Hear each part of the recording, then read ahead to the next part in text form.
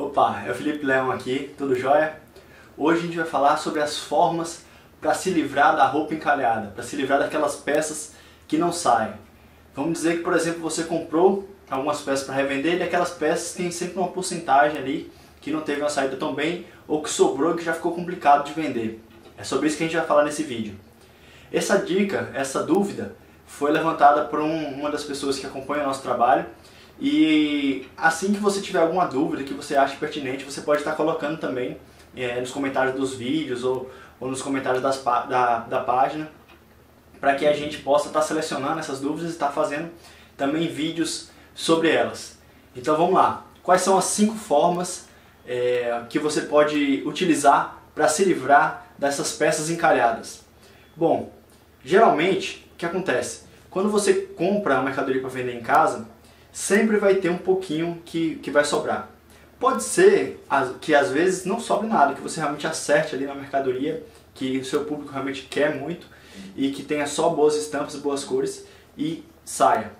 Isso é mais fácil de acontecer, assim, de sair tudo, quando a mercadoria é, tem pouca numeração, né? Porque geralmente o que acontece? Quando você compra uma grade de uma, de uma quantidade de, é, de peças, vamos dizer, uma, uma grade de short jeans. Então, a grade, o que é a grade? É a, a numeração.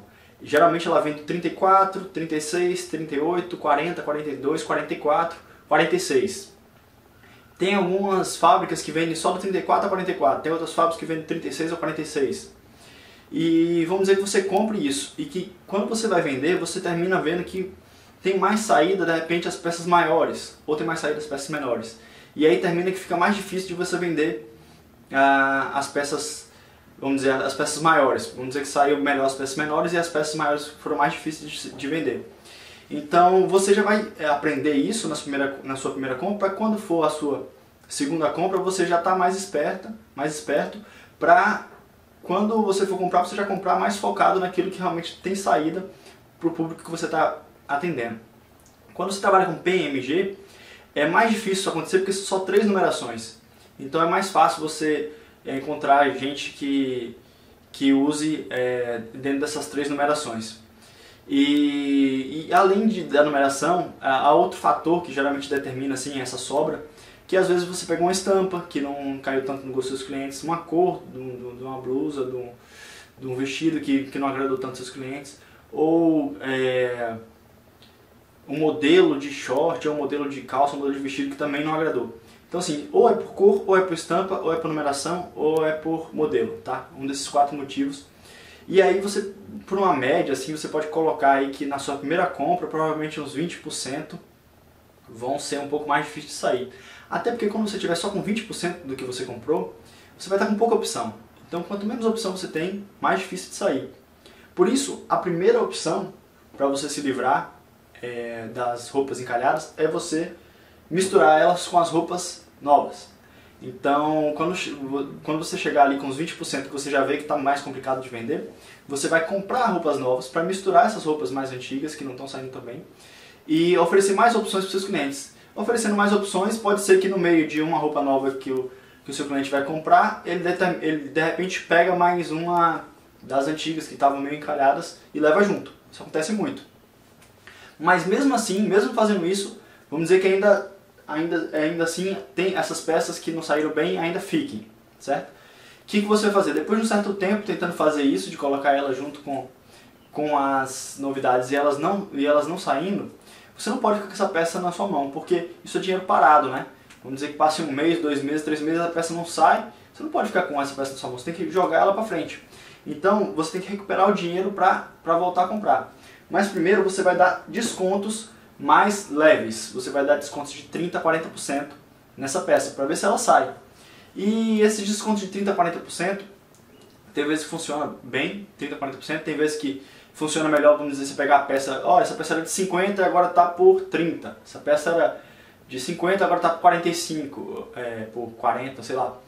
Você vai, vai testando o que funciona melhor para você, se é aplicar a porcentagem, ó, tá com 30%, essas aqui estão com 30%, essas aqui estão com 40%. Ou se é, ó, tava de 50, agora tá por 35, tava de 50, agora tá por 40.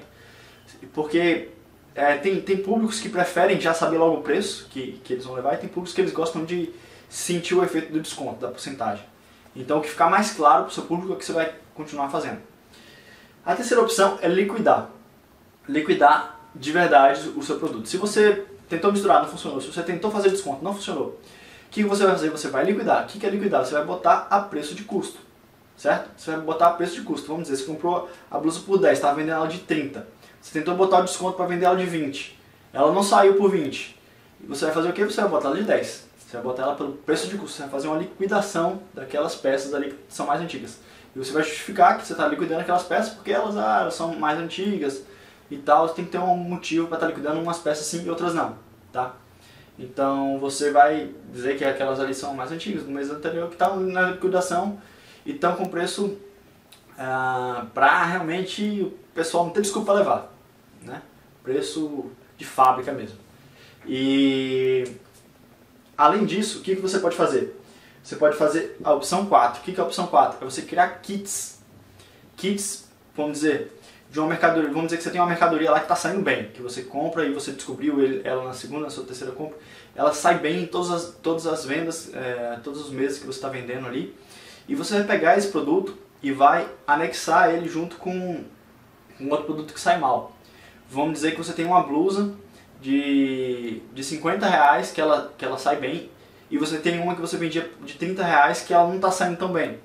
Aí você vai pegar essa blusa de 30 e vai dizer o seguinte, ó, é, temos aqui essa blusa de 50, que, que o pessoal gosta muito, mas se você comprar por 60 esse kit aqui, você leva essa blusa de 50 e ainda leva de brinde essa, essa blusa aqui.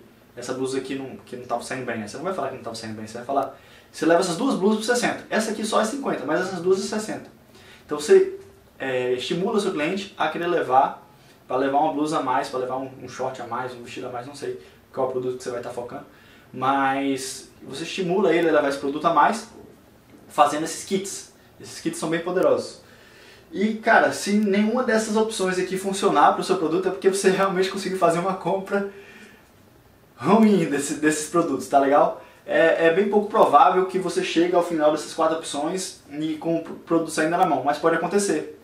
É, e quando acontece isso comigo, quando eu dou uma errada assim, realmente fora da, da tabela aí, que a gente dá esse chute lá para fora do campo, o que acontece? A gente faz uma boa ação. Olha, comprei para vender por 30, tentei vender por 20, não foi. Tentei vender por 10, não foi. O que, que eu vou fazer? Eu vou, vou, dar esse produto, vou fazer uma doação. E aí você faz uma boa ação, dá, faz uma doação desse, desse produto para alguém que está precisando, para alguma dessas casas é, de pessoas carentes e tal. E pronto, e, e some com essa roupa. Porque não é bom essa roupa depois de tanto tempo tá, ainda tá aparecendo nas suas vendas, porque os clientes começam a ver, nossa, isso aqui já vai fazer aniversário aí, já tem um ano que está aqui, hein? Então não é legal isso também e você se livra logo disso e pronto, acabou, e parte para a próxima.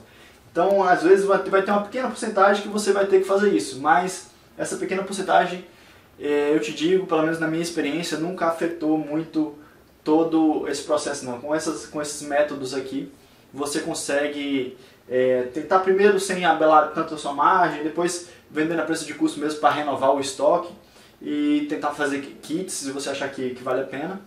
E pronto, e aí você consegue se livrar da, das roupas que encalham, beleza? Espero que você tenha gostado aí desse, desse vídeo, dessas dicas. Se você gostou, por favor, deixe seu comentário aqui, deixe um curtir. É, compartilhe esse vídeo com algum amigo seu que, que pensa em trabalhar em roupas, que você acha que seria uma boa oportunidade para ele trabalhar em roupas também. Não deixe de acompanhar o, o nosso canal uh, do YouTube, nossa página do Face. E deve ter algum link em algum lugar por aqui perto desse vídeo para você se inscrever para o nosso mini curso gratuito por e-mail, com material bem legal que a gente preparou para você. Beleza? Então por hoje é isso, grande abraço e até a próxima. Tchau!